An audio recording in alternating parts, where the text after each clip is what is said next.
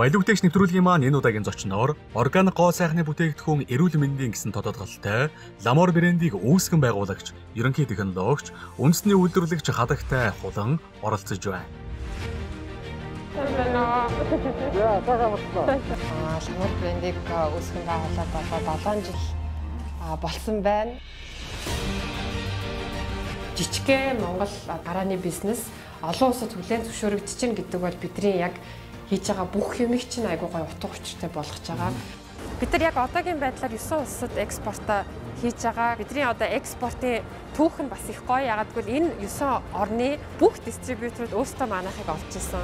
Би ламорын бүтээгдэхүүнийг анх гарсан цагаас нь л хэрэглэж эхэлсэн. Тэгээ яг 9 сарын 1-нд жижигхэн оффистай болж ирсэн. Одоо энэ өрөөний баг 3-ны 1 ч юм уу. Тэгэл өрүүлээ суугаад 9 сарын 12-нд манад толгой ороод бүх юм толгой болтогдоод миний компьютер компьютер бүх юм толгой болтогдсон. Та манайх чи идэж болох үз гоо сайхны бүтээгдэхүүн гэдэг шүү дээ угаасаа тэргээрээ ч олон улсад танигдсан. Тийм үү? Идэж болох юм. Идэхэд ямар ч асуудал болоо. Тэгээ бүх юм одоо үндсэндээ үерш давтаад манай цав баглаа боодол бид нар чинь нэг л өрөөтэй Угаасаа тухайн үед манай үйлдвэр чинь нэг хоёрхан л хүнтэй. Тэгэл хамаг юмаа л бас алдчихлээсэн. Хямралын үед хин хамгийн ухаалгаар бүтээмжтэй байдлаар юмнуудаа шийдэн тэр л амжилттай байна.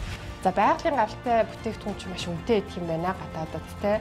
Монгол тэр нь байдгүй юм байна. Гэтэл Монгол шиг энэ ихтэй байгалийн түүхий идтэй байгалийн одоо энэ сайхан баялагтай газар одоо нөгөө газар доорх биш. Газар дээрх баялагтай газар яагаад ийм бүтээгдэхүүн хийгээгүй юм бол хамгийн анх тэгчл ботсон. Өдөгч та бүхэн Мас телевизээр пүрэв гарагт 20 цагаа 30 минутаас бүлээн авч үзээрэй.